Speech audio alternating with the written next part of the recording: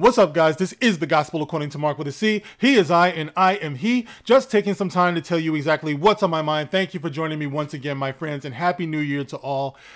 Uh, hopefully, this is going to be a good year for us, guys. I know how it might seem right now, but you got to believe, you got to keep pushing, man. You got to be purposeful with all of this. Now, um, listen, guys, uh, I want to do a commentary here about the tragedy of what happened to Uche Nwaneri, okay? And um, it's it's rough. It's rough because let me just say this. Uh, I did not know Uche personally. Never interacted with him, was never on a stream with him. I don't even think I commented on anything that he wrote on Twitter. And that was probably deliberate because one thing that I realized very soon after I started following Uche on Twitter is that I didn't agree with almost anything he said. You know what I mean? Almost everything he said, I was like, no, you know what I mean? I, I don't, nah, nah, not at all. So I didn't want to be like, I don't go on Twitter to be arguing with people. You know, I don't go on social media to be going back and forth with people because, after all, how they feel is how they feel. That's their opinion. Everyone is entitled to that opinion, whether you agree with it or not. And it's cool if they feel the way they feel and you don't agree with it. Just because you don't agree with somebody doesn't mean that you wish ill or harm upon them. Okay, but we'll get back to that later. The point is, is that due to the fact that there were so many things that he said that I knew I didn't agree with, it didn't come as a surprise to me to find out that he was pro jab. Okay, this is something that he believed in.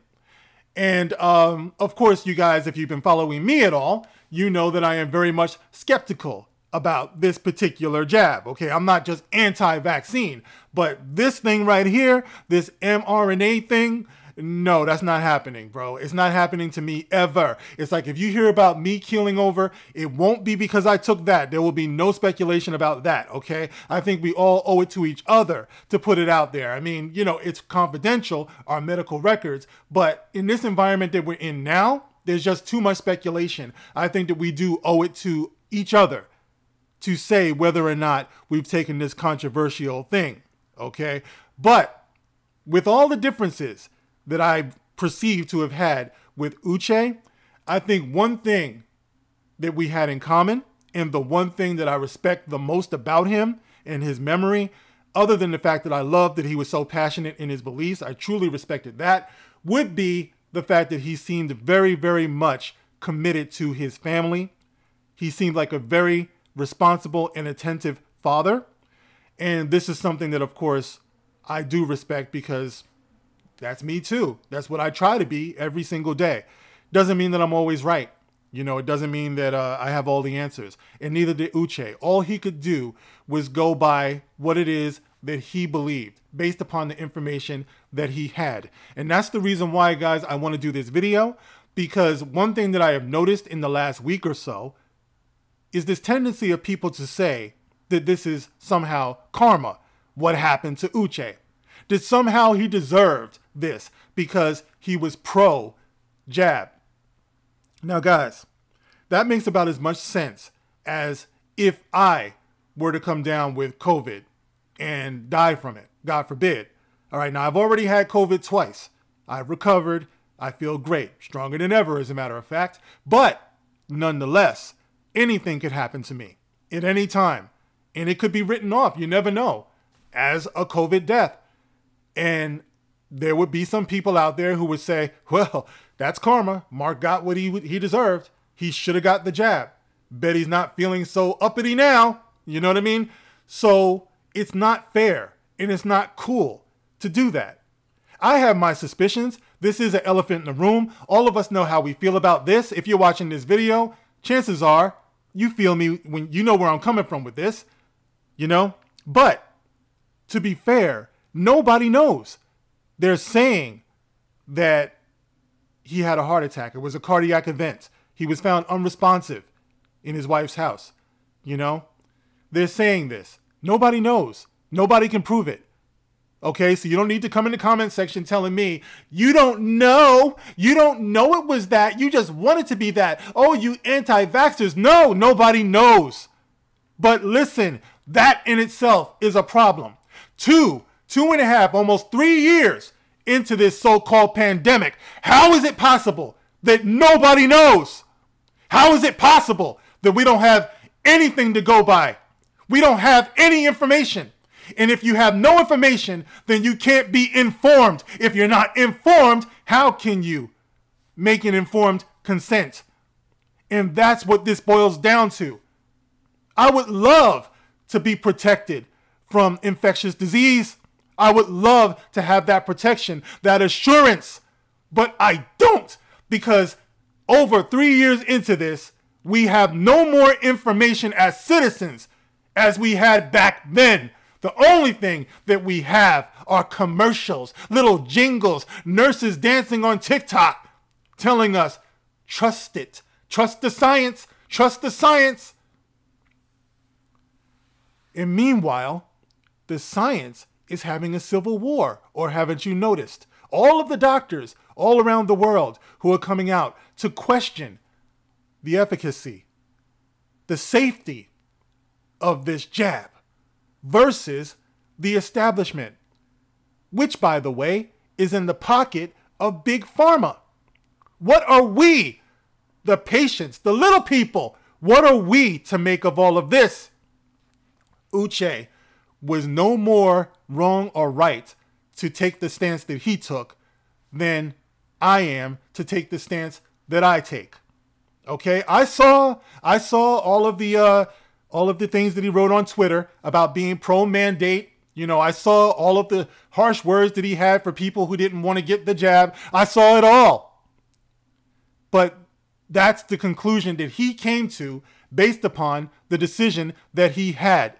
You know, based upon the information that he had. All right? Once again, no more wrong or right than the rest of us are. Okay? Because at the end of the day, it is a question of trust. The real tragedy here is that people were asked to trust this system that doesn't care about any of us. So we have to choose one way or another. All right? Some of us are on one side and some of us are on the other side. However, what we should not do is turn on each other. Because even though there are some people out there who are saying, I'm pure blood, I'm pure blood, we still share this air, man. You know, we still share germs and we share the atmosphere. We share this planet. We're one human race. So sooner or later, what afflicts some of us will end up afflicting all of us as a species if we don't get a handle on things like this. So you have people like Fauci, who years ago, I remember saying, I predict there's going to be two Americas the jabbed and the unjabbed. Brandon said that, um, what did he say? Um, it's going to be a, a disease or a pandemic of the unvaccinated. All right. But since then, what have we seen? For the first time since this pandemic has begun, the most people afflicted with COVID are indeed the jabbed. Look it up. Look it up. Once again, the information is out there, guys. We have the right to demand answers. These people are supposed to be working for us, and every time one of us falls, we should be demanding answers in much the same way I believe my brother came to me and said, Are you just going to let me go this way? Don't you love me? Don't we love one another and respect one another enough to get some answers? Even if you believe in the jab. You want to rule it out, just like somebody who is falsely accused of a crime. You want to rule them out. You want them to have their day in court. And you want it to be done by a jury of their peers, by us. Not some some party who's got a financial interest in this. We're never going to get to the bottom of what's going on here that way. The media is bought and paid for. The politicians are bought and paid for. The doctors are afraid to speak out, too many of them, even though more of them and more of them are actually speaking out. But until then, how many people are we going to watch fall out? You know what I'm saying? It gets more and more dire every single day. It may or may not be that this played a role in this. Maybe it didn't. But we need to know they're starting to bring kids out. They want to make this mandatory for kids to take before they can go to school. Do we love our kids or not? We should know. We should know for sure. That's all I'm asking. That's all I'm demanding. And I believe we all should. So it's not right to condemn Uche or anybody else who stood up for that. They obviously did it because they trusted this system.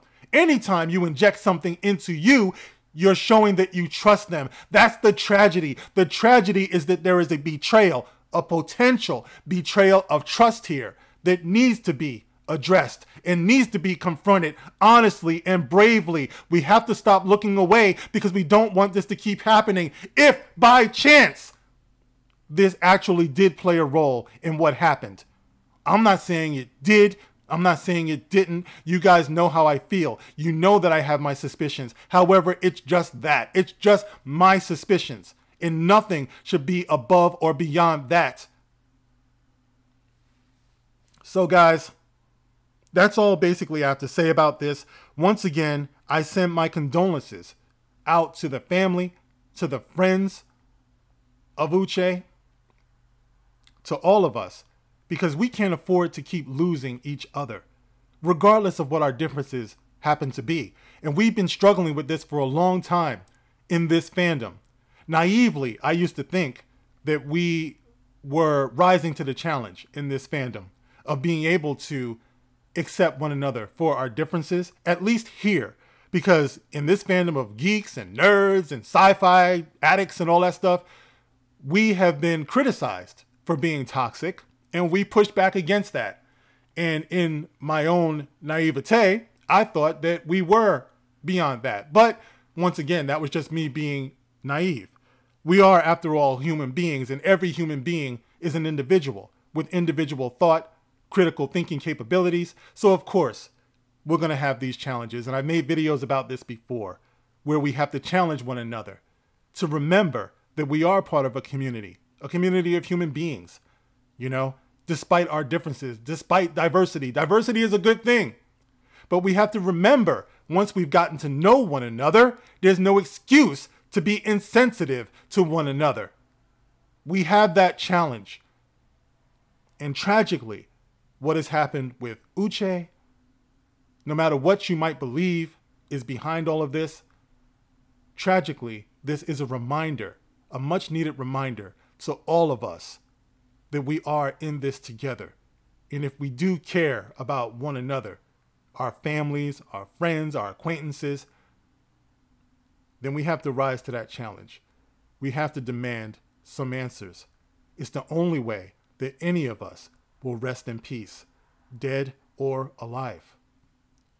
All right, guys, that's all I have to say about that. Thank you so much for listening. As always, you can follow, you know, uh, I think this is going to be an exclusive on Rumble. All right. This year, I think I'm going to start to slowly move away from YouTube because YouTube has been jerking me. But that's beside the point. That's not even what this video is about. But thank you guys for listening. Hope you drop a follow on Rumble. And um, I will catch you on the next one. Thanks again. This is The Gospel According to Marc with a C. Rock on.